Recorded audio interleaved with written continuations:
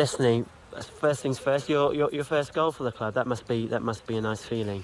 Yeah, I mean, it wasn't so much a straightforward goal, but the ball came in the box and I went up for the header with a few others. The ball went in the back of the net, so it's good to get going. I suppose it doesn't matter how they come as, as long as you kind of get the ball in the net. That's what that's what matters. Yeah, definitely. I mean, today um, you'd seen for yourself a few of the goals was kind of like a bit of luck on our side. The first one that they scored, it's kind of lofted cross. It went in the back of the net, and the same thing happened for us in the second half. And a little bit of luck went our way, and we got the goals. I mean, it was a real.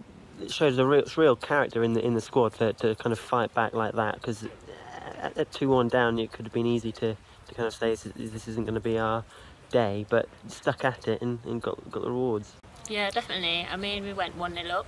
Um, we said at half time we was going to come out and uh, keep the pace going, get a second goal, and kill the game off. And it didn't quite go that way. You know, they got the goal back and they had the momentum and ended up getting the second goal, which you know was disappointing to concede. But we, we stuck together. We worked as a team.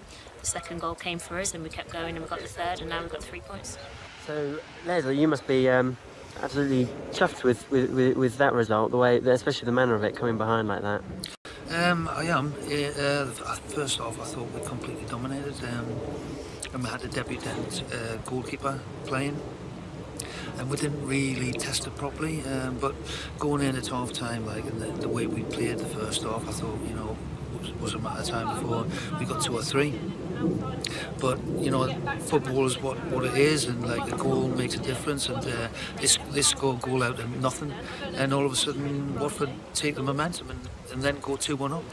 Um, so the girls showed great resolve, um, and we've been doing that recently against better teams where like the, the heads haven't dropped, and they certainly didn't today. And uh, we kept going right to the end, scored two goals in the last 10 minutes, and um, I thought deser- thoroughly deserved to win the game.